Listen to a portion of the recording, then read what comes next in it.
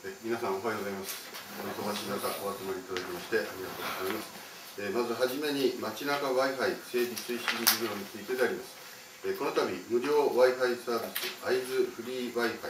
のエリアを、え街の中に拡大し、明日3月18日から正式にサービスを開始いたします。今回は本市中心市街地活性化基本計画の重点整備軸であります会津若松駅から鶴ヶ城までの通りえ七日町通りへ計20カ所設置をいたします。街中への設置拡大に合わせポータルサイト会津若松プラス内にどこでも会津フリー Wi-Fi のサービスを受けることができるか一目で分かるようにいたします。Wi-Fi サービスの提供と街中の紹介のポータルサイトにより外国人観光客や一般観光客さらには街中への来訪者などインターネットアクセス環境の利便性をの向上を図り、えーもって観光誘客の促進とにぎわいのあるまちづくりを目指しております。えー接続手順は Wi-Fi 設定画面で会津フリー Wi-Fi を選択してブラウザを立ち上げ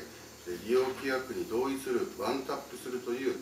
パスワード不要のワンタップ認証方式であります一度認証されれば3時間他のアクセスポイントでも自動的にご利用をいただけます。なお会津フリー Wi-Fi は昨年11月より鶴ヶ城など観光施設7カ所ですでにサービスが提供されており